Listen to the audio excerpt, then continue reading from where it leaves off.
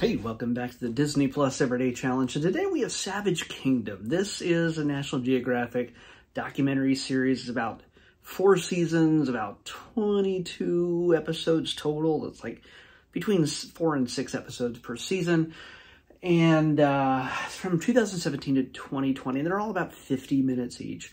Um, it's another documentary about Africa, about the animals living in Africa. You know, they got the lions, you got the elephants, you got the water buffalo, you got the hyenas. These are the hyenas, I'm pretty sure. Uh, this is not the cute, cuddly one. This is not the one where they follow a altruistic mother through uh, all sorts of uh, trials and travails uh, against uh, would-be predators uh, with her beautiful little cubs that are playfully playing whenever there's not danger around. And it's all happy and pleasant and the story ends in a happy hurrah in the end and everybody is it's a beautiful place. Africa is just a it is a beautiful place but not for these creatures in reality. This is the bloodiest I have ever seen when it comes to these types of documentaries. So if you're into that, go for it. You, the blood is red. and It is there from the very beginning. If you have the slightest problem with blood, yeah, you're gonna you're gonna want to avoid this. Yeah, pretty much. Uh, there is upsetting. It even warns you at the very, very beginning uh, of the text. This is this. You may find this upsetting. You there's some stuff in this you will find. You you might. And it's not made for everybody. Okay. The reason being, one of the biggest reasons in just the first episode. Matsumi is the name they give. They name the lion, the mother lion. They name her they kind of follow her around the whole time and you get to see everything that she interacts with. But again, Angela Bassett's not voicing her and they're not just going on an adventure. No. She has cubs. and at one point they get taken from her and eaten by other lions. And you see it, not graphically, but you see some limp, dead fuzzy lion cubs. And they don't say it right away. They they imply it at first. They're just, the narrator. And I'm going to get to the narrator in a second because he is the main reason to watch this. I'll tell you that right now.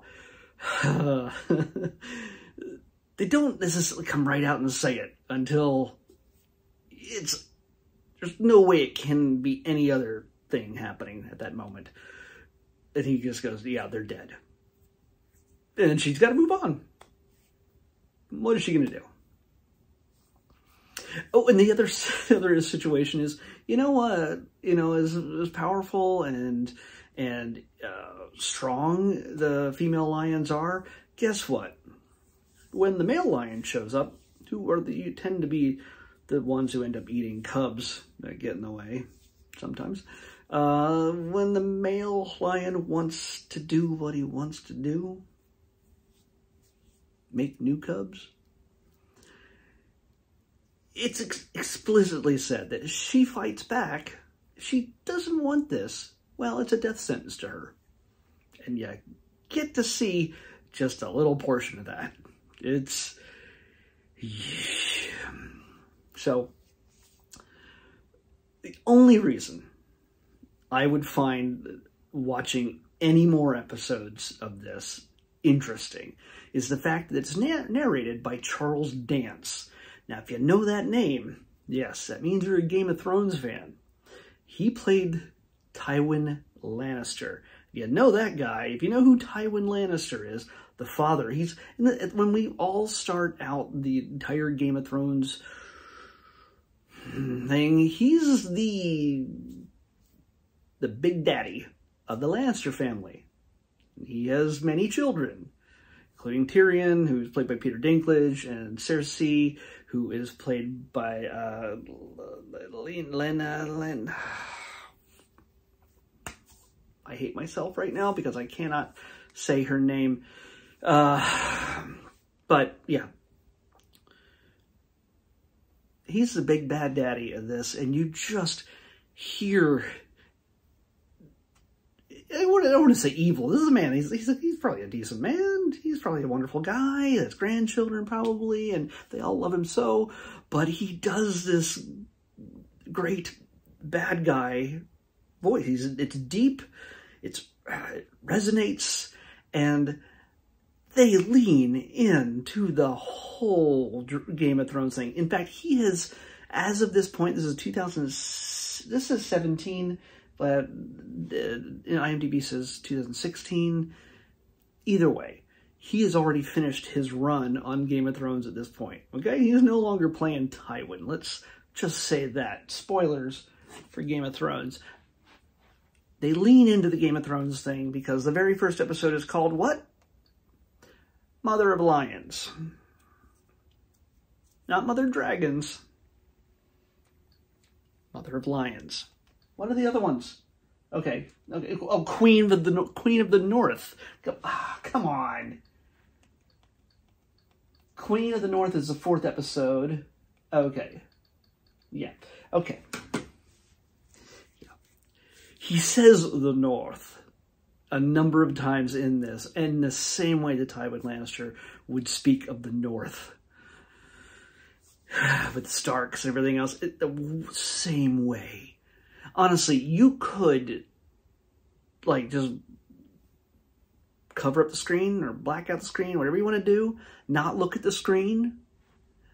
And you could imagine that he is just doing the reading the Game of Thrones novels without with just a whole lot less incest.